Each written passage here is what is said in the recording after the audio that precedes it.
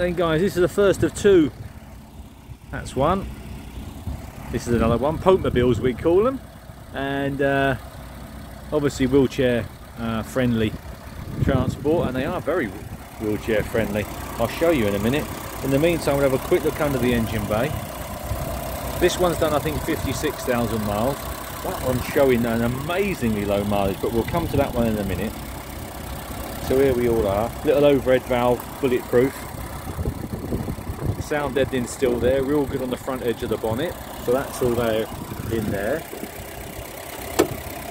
Starts as soon as you look at the key she's away. Lovely and clean inside. Original radio and so forth. 54,000 sorry miles on this one. And absolutely lovely and clean inside. Cracking bit of kit. Real nice on the door shuts I'll come to the uh, to the rear in a minute. Obviously perfect for what they're designed for wheelchair transport but also what a fabulous way to transport your classic bike.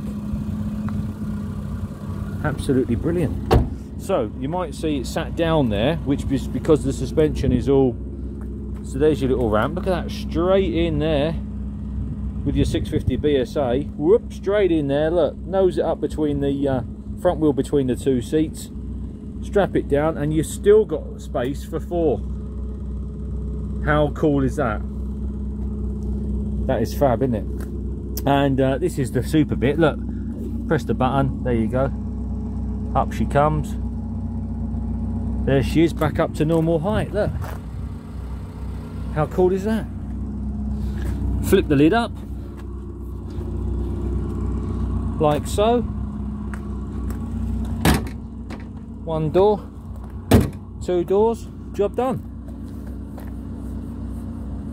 How cool is that?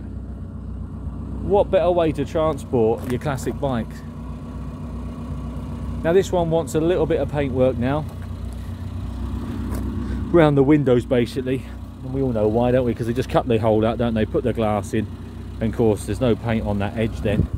And then they start to rust. So this one's just due a bit of paint around the windows. The rest of it will just clean up nice. So it's just around those rear windows. And it's white, so that's easy, isn't it?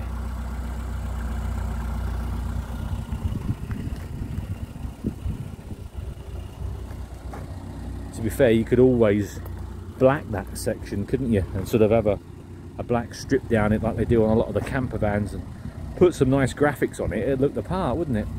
But anyway, that's the first of two. I'm going to go on to the next one in a minute or two. I'll just do some more photographs for you first before I put this away. But what a purposeful little bit of kit.